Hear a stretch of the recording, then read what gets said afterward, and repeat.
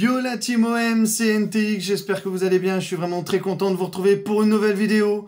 Aujourd'hui pour une nouvelle vidéo d'officialisation, ça y est, l'OM tient enfin sa troisième recrue. Analyser tout ça ensemble dans cette vidéo, on va analyser le parcours également du joueur et vous aussi n'hésitez pas à réagir comme d'habitude dans l'espace commentaire. Si ce genre de vidéo te plaît, n'hésite pas à liker, à partager, à t'abonner et à commenter pour me dire ce que tu as pensé de cette vidéo. Donc après les émotions hier assez compliquées, après le départ de Dimitri Payet hein, qui était vraiment pleine d'émotions, on va se redonner le sourire du côté de l'Olympique de Marseille parce que ça y est, c'est désormais officiel. La photo que j'attendais, Pierre-Emerick Aubameyang a signé son contrat de trois saisons avec l'Olympique de Marseille. Hein. Aubameyang s'est rendu en stage de pré-saison en Allemagne où l'Olympique de Marseille effectue sa préparation. Il a passé sa visite médicale avec succès et dans la foulée a signé son contrat de trois saisons. Et en plus de ça, il arrive gratuitement euh, en provenance de, Chelsea. Voilà, il lui restait un an de contrat et finalement Longoria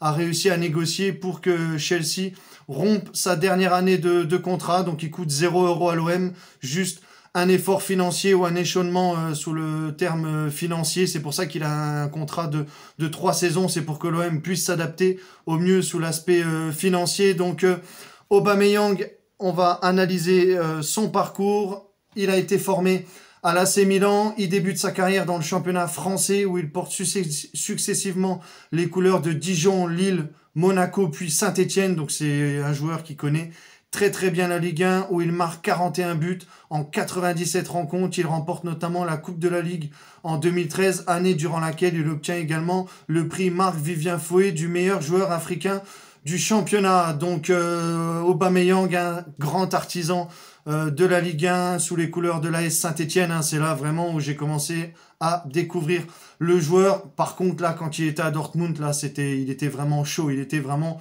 bouillant. Il signe ensuite au Borussia Dortmund en 4 saisons et demie, passé au sein du club allemand, l'international gabonais inscrit 141 buts et délivre 36 passes D. Il est notamment élu meilleur joueur de Bundesliga lors de la saison 2015-2016 et meilleur buteur du championnat en 2016-2017 et reste à ce jour le meilleur buteur étranger de l'histoire du B4B.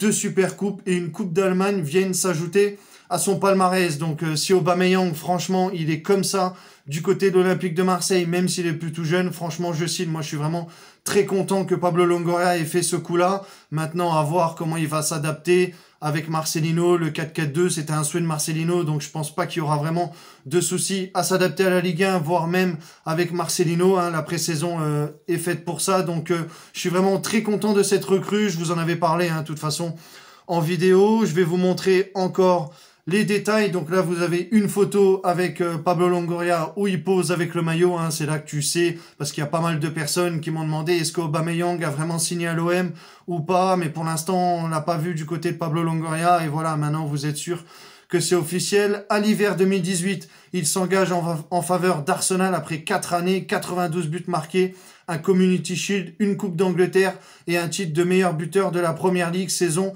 2018-2019.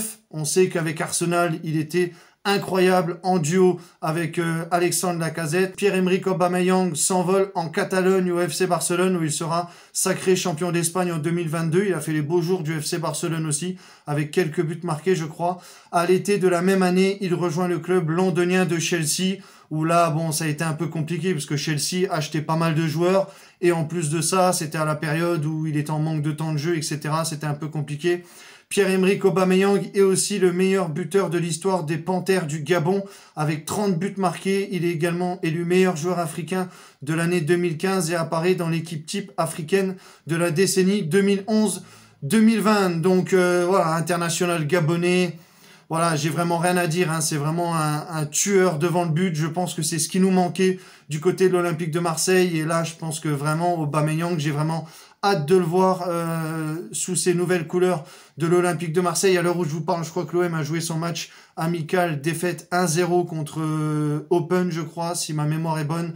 Donc euh, voilà, une petite défaite de l'OM, mais ça la préparation, faut pas s'enflammer. Je sais pas du tout si Aubameyang a joué, je n'ai pas regardé le résumé. Mais voilà, en tout cas, pour l'officialisation de Pierre-Emerick Aubameyang. Merci à vous de m'avoir suivi pour cette vidéo. N'hésitez pas à réagir et me dire qu'est-ce que vous pensez de ce bon coup de l'Olympique de Marseille et de Pablo Longoria, parce que franchement, il nous fallait un buteur, un tueur devant le but. C'est ce qui nous manquait euh, la saison dernière aussi devant le but. Donc je pense que c'est vraiment le buteur qu'il fallait à l'Olympique de Marseille. On se dit à très vite. Allez l'OM pour d'autres vidéos actus. C'était NTX. Ciao, ciao les gars.